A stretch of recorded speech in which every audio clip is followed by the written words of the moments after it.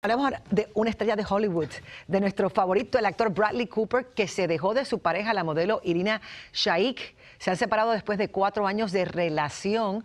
Ahí lo ven a él con esta fabulosa mujer. De hecho, hay informes de que Irina abandonó la mansión de ellos, una mansión de cuatro millones y medio de dólares en Pacific Palisades, en California, que era la que compartía con Bradley, vivían juntos. Se dice que estaban descontentos desde hace un tiempito. ¿Por qué? Por la que ven aquí, Lady Gaga, que Lady Gaga es la manzana de la discordia y que solamente permanecían juntos por el bien de la hijita que tienen en común de dos años.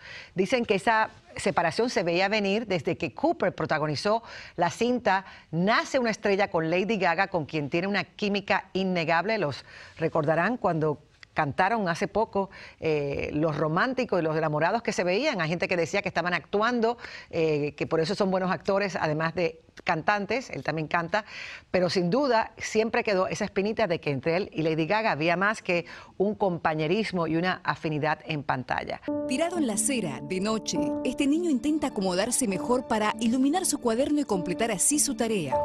Y lo hace bajo este poste eléctrico porque en su casa